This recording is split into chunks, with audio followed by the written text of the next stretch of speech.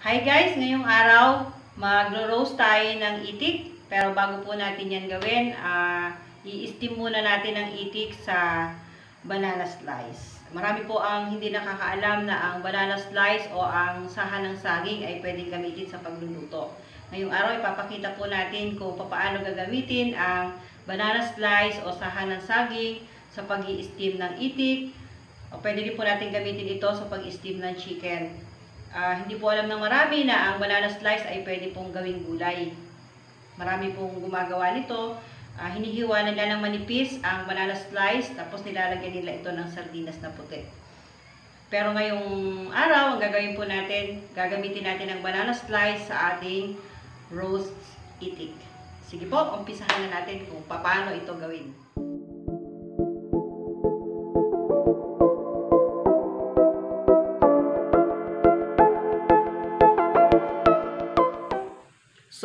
Timplahan po muna natin yung ating itik. Lalagyan natin siya ng asin para magkaroon ng lasa kapag in-steam na po natin sa saha ng saging. Yan. Sinukusan natin ng asin. Hanggang doon sa loob. Lagyan po natin ng asin. Okay. Tapos po niyan, lagyan din natin ng paminta. Konting paminta. Para pampadagdag lasa po yan at saka pampaalis na rin ng lansa.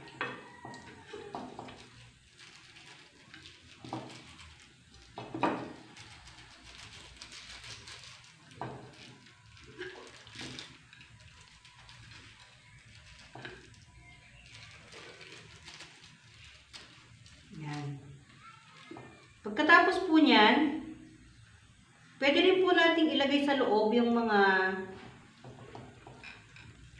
ah, tinanggal nating ano, lamang lo, ah, bahagi ng katawan ng manok, yung mga paa, ah, atay, balon-balunan, ulo, lagay natin doon sa loob, isama natin sa pagluto. Pagkatapos po niyan ay magagaya tayo ng sibuyas. Ipapasok din po natin ang sibuyas dito sa loob. Lagyan po muna natin siya ng seasoning para mas masarap. Yan. Para pagka naluto, talagang malasang malasa yung ating steam chicken. Ah, steam duck. So, wala nang laman ang aming seasoning. Okay.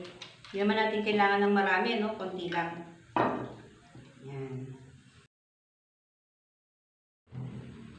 Ito na po yung ating ng ah, itik. Atin na po siyang minarinate kanina. Nilagyan po natin ng asin, ng seasoning, ah, paminta. At ngayon, bago po natin lutuin, ilalagay na rin po natin yung sibuyas sa loob ng itik. Yan, para po masarap pagka naluto. Lagyan natin ng maraming paminta, ah, at saka maraming sibuyas. Pwede rin po tayo maglagay ng dahon ng sibuyas kung gusto po ninyo.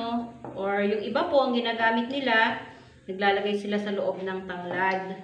O kaya naman, dahon ng saging. Yan. So, kapag nailagay na po natin yung palaman na ganyan, pwede na po natin siyang isalang. Ito po ang ating gagamitin, yung saha ng saging o banana slice. Paano po natin ito gagamitin? Bibiyakin lang po natin siyang ganyan. Ito po ay yung pinakaubod ng saging. Nakukuha po ito sa gitna ng puno ng saging, yung pinakaubod. So, bago po natin buksan yung ating kalan, kapag in-steam natin yung manok doon, ilalagay po natin ito sa ilalim at sa tagikuran.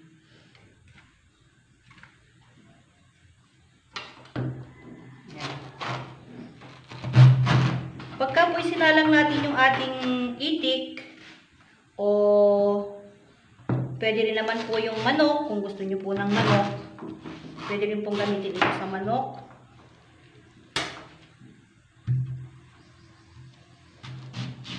Hindi na po natin kailangan tubigan yung ano, paglulutuan po natin. Kasi ito po ay kumakatas. Ang kagandahan nun, ah ito pong sahan ng saging, kapag naluto po siya, itong pinakaubod na ito, yung puting-puti, pwede po siyang kainin. Ayan. Parang kagaya po siya ng puso ng saging. Ayan. So, kung pagkatapos natin mag-steam ng chicken or itik or bibe, pwede rin po natin kainin yung ating ginamit na banana slice. So, punta na po tayo doon. Ah, isa lang na natin yung ating itik.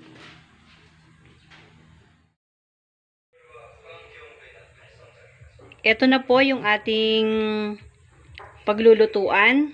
Ah, gagamit po tayo ng kawali. Ano po? Nakalatag na po yung ating saha ng saging. Kung papansinin nyo po, pinili natin yung mga puting-puti na. Galing po yan sa pinakagitna ng saging. Kung baga, ang tawag po dyan ay yung ubod na ng saging. Kaya natin pinili yung mga ubod na kasi pagkatapos po nating ah, lutuin yung ating steam itik, pwede na rin po nating pinakagulay yan kapag kumain tayo mamaya. So, ilagay na natin yung ating itik.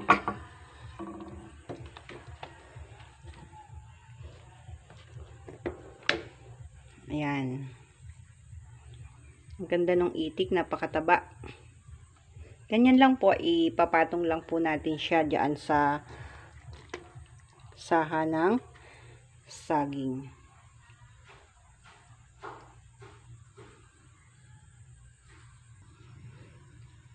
So, tatakpan lang muna natin guys yung ating ano ah, i-steam. So, maghihintay tayo ng mga hanggang sa lumambot siya. Ah, babalikan po natin mamaya. Napansin niyo po, hindi ko tinubigan yung ano, yung isinalang kong itik. Kasi hindi na po kailangan tubigan dahil yung pong saha ng saging ay kusang kumakatas. Kaya napakasarap nung ating inistim na itik doon sa saha ng saging. Kasi nandun na mismo yung ah, katas ng manok at saka katas ng saging. Walang tubig. So napakalinamnam po niyan. Mamaya po, ah, babalikan natin yan mga after 30 minutes. Tignan po natin yung ating ini-steam.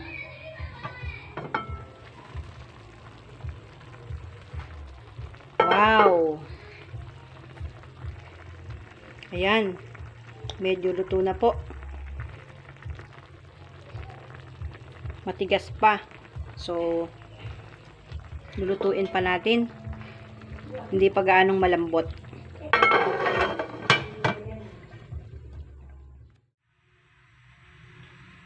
Wow, mukhang masarap na guys.